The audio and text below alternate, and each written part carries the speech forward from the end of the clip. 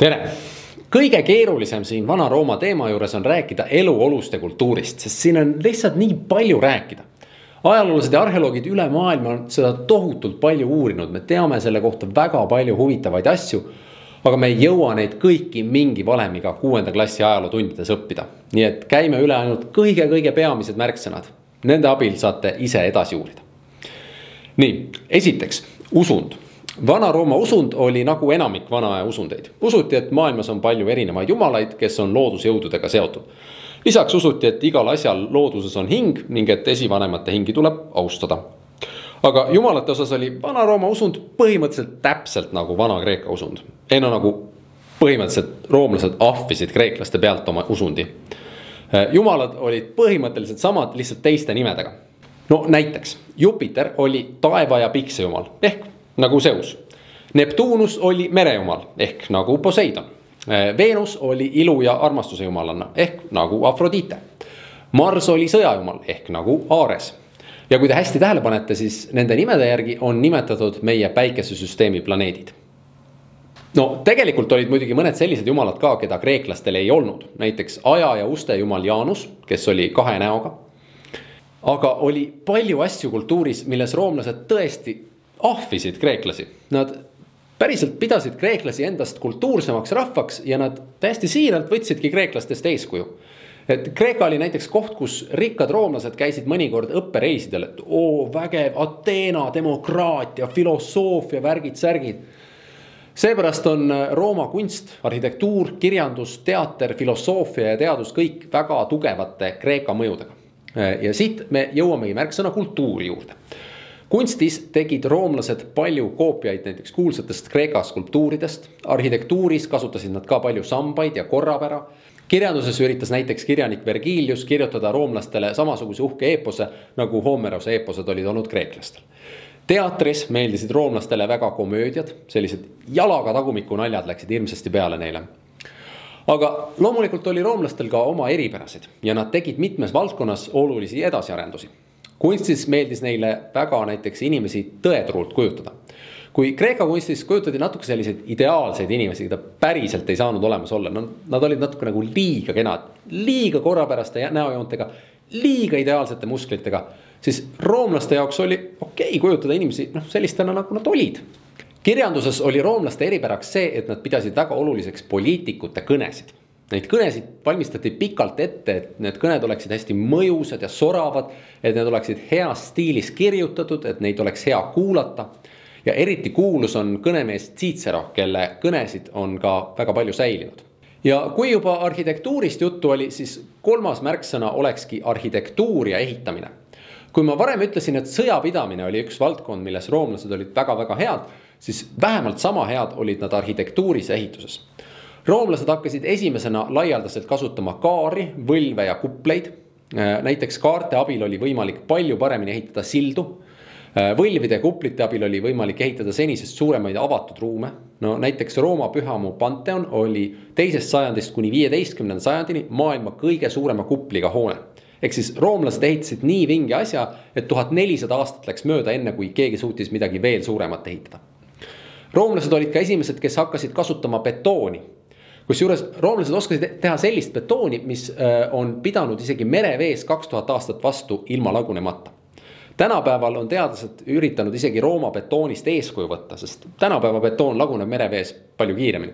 tänu oma suurepärastele ehitusoskustele rajasid roomlased palju uusi linnu.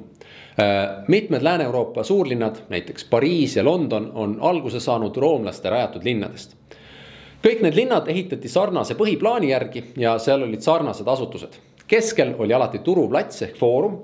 Äh, foorumil siis kaubeldi, kuuldi uudiseid, ajati poliitikat.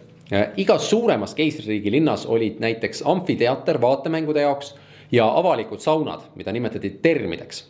termid olid põhimõtteliselt nagu tänapäeva spaakeskused, aga lisaks olid nende juures ka näiteks raamatukogud selleks, et inimesed linnades elada saaksid, et neil oleks noh, ma ei tea, näiteks puhast joogivett, siis roomlased ehitasid veejuhtmeid ehk akvedukte ehk siis ütleme, et kuskil linna lähedal mägedes oli allikas. roomlased ehitasid sealt ühtlase nurga all laskuva toru linnani välja. Äh, kui vahepeal olid mingid orud, rajati sinna suured sillad. ja need veejuhtmed ehk akveduktid võisid olla kümneid kilomeetreid pikad linnades olid omakorda torustikud, mis juhtisid puhast vett majapidamisse ja siis ka musta vee linnast välja. ja te võite juba ette kujutada, et sellise veevärgi toimima saamiseks oli muidugi vaja tunda matemaatikat ja füüsikat. nii et ka teaduses oldi Rooma keisririigi ajal päris heal tasemel. sõjavägede kiireks liigutamiseks rajasid roomlased teid. Rooma teed olid oma aja kohta erakordselt kvaliteetsed kiviplaatidest teed Need olid kohe nii kvaliteetsed, et paljud teelõigud on tänapäevani alles, need ei ole lagunenud. mina näiteks olen jalutanud ise Rooma linnas mööda päris Rooma riigi aegset teesillutist, mis on umbes kaks tuhat aastat vana. isegi hiljem pärast Rooma riigi kokkuvarisemist inimesed kasutasid neid teid mõnuga edasi. Nad olid nagu, et ma ei tea, kes täpselt selle kivitee siia ehitas, aga ilgelt mõnus on seda mööda lihtsalt otse minna, et ei pea kuskil porises võsas sumpama nagu juba mainitud, siis ühed uhked ehitised olid amfiteatrid. Need olid põhimõtteliselt nagu tänapäeva staadionid, kus areen on keskel ja publik on ümberringi tribüünil.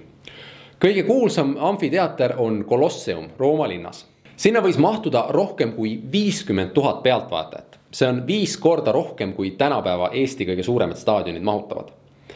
aga amfiteatrid ei olnud meie mõistes spordi jaoks. spordivõistlusi, täpsemalt kaarikuvõistlusi korraldati hipodroomil aga amfiteatrites, no juba see nimi ütleb, et pole sport, vaid midagi muud, seal korraldati avalikke vaatemänge. kõige kurikuulsamaks vaatemänguks oli gladiaatorite võitlus. mida see tähendab? gladiaatorid olid enamasti orjad, kes võitlesid omavahel rahva lõbuks elu ja surma peale. ühesõnaga, inimesed vaatasid pealt seda, kuidas orje sunniti üksteist ära tapma edukad gladiaatorid said staarideks, neil olid oma fännid. mõni gladiaator isegi teenis välja oma vabaduse, ta ei pidanud enam ori olema. mõnikord show vürtsitamiseks lasti areenile lisaks gladiaatoritele ka metsloomad, näiteks lõvid või tiigrid. ühesõnaga, see oli roomlaste lemmikmeelelahutus enamiku meelest oli täiesti normaalne vaadata ja tribüünidelt kaasa elada, kuidas päris inimesed üksteist tükkideks raiuvad või kuidas metsloomad neid ära söövad ja kõige veidram on see, et selliste vaatemängude korraldamine oli riigijuhtide ülesandeks. iga keiser üritas üha ägedamaid ja suurejoonelisemaid vaatemänge korraldada. noh, näiteks Kolosseumi lasti sisse vesi ja seal peeti päris merelahinguid päris laevadega ja nii edasi. Rooma ajast pärineb ka selline ütlus nagu leiba ja tsirkust sel ajal tähendas see seda, et kui keiser tahtis, et inimesed oleksid rahulikud ega ei hakkaks mässama, siis oli vaja lihtsalt pakkuda neile kahte asja. leiba ja vaatemänge ja neid oli vaja pakkuda tasuta muidugi. tänapäeval kasutatakse seda väljendit leiba ja tsirkust enamasti etteheitena. ei ole ju normaalne, et näiteks valitseja juhib riiki halvasti, aga kui inimestel on kõht täis ja neile pakutakse mingit naljakat meelelahutust, siis nad on rahul ja ongi kõik okei okay. iva on selles, et tegelikult peaks iga inimene huvituma sellest, mis tema ümber toimub ja mitte laskma end lihtsate rõõmudega ära osta. ehk siis leiba ja tsirkus tegelikult ei ole okei okay,, nii ei peaks olema aga viimaseks märksõnaks keel ja kiri. Rooma riik sai alguse Latiumi maakonnast, kus räägiti ladina keelt ja sellest keelest sai kogu Rooma impeeriumi ühine keel. nii et näiteks Suurbritannia elanik võis selles keeles rääkida heebrealasega ja muistne hispaanlane kreeklasega. See oli natuke nagu inglise keel tänapäeval, et kui eestlasel on vaja hispaanlasega suhelda, siis tihti tehakse seda inglise keeles see ei tähenda, et igal pool oleksid need kohalikud keeled ära kadunud, aga lihtsalt ladina keel oli selline keel, milles erinevate piirkondade inimesed said omavahel suhelda. Ladina keelt kasutati kõige rohkem linnades, sõjaväes, ametiasutustes, sellistes kohtades. ja miks see oluline on, sest ladina keel jäi veel pärast Rooma impeeriumit pikaks-pikaks ajaks väga tähtsaks keeleks kogu Euroopas. Hilisematel aegadel oli ladina keel väga pikalt haritud inimeste ja teadlaste keel kuigi inimesed seda igapäevaelus enam ei rääkinud. siiamaani näiteks kõikide elusolendite liikide nimed pannakse ladina keeles. ja ladinakeelseid termineid ja väljendeid kasutavad arstid ja juristid. ning ladina keelest kasvasid hiljem välja sellised keeled nagu prantsuse, hispaania, portugali, itaalia ja rumeenia keel vanade idamaade teemas me õppisime, et tsivilisatsiooni tunnuseks on kiri ning Egiptuses kasutati siis hieroglüüfkirja ja Mesopotaamias kiilkirja Need mõlemad on meile tänapäeval täiesti arusaamatud, sest need olid mõiste ja siltkirjad. roomlased aga õppisid tundma foiniiklaste tähestikkirja, kus igale häälikule vastas üks täht ja selle põhjal kujunes roomlastel ladina tähestik. ja see muuseas ongi see tähestik, mida meie tänapäeval kasutame. seetõttu, kui te satute Rooma-aegsete varemete juurde ja näete seal mõnda raidkirja, siis te saate täiesti ise seda lugeda. Kui seal on mõni nimi peal, siis te ei pea isegi selleks oskama ladina keelt. küll aga tasub meeles pidada, et kui seal peaks mõni arv peal olema, siis roomlased kasutasid Rooma numbreid, eks ole. meie praegusi numbreid nimetatakse araabia numbriteks, need tulid kasutusele palju hiljem ja kokkuvõtteks, esiteks, roomlased uskusid paljudesse jumalatesse ja hingedesse nagu enamik vana aja rahvaid teiseks, kultuuri alal võtsid roomlased palju eeskuju vanadelt kreeklastelt. Kolmandaks, roomlased olid väga edumeelsed ehituskunsti vallas, nad õppisid kasutama kaari ning betooni.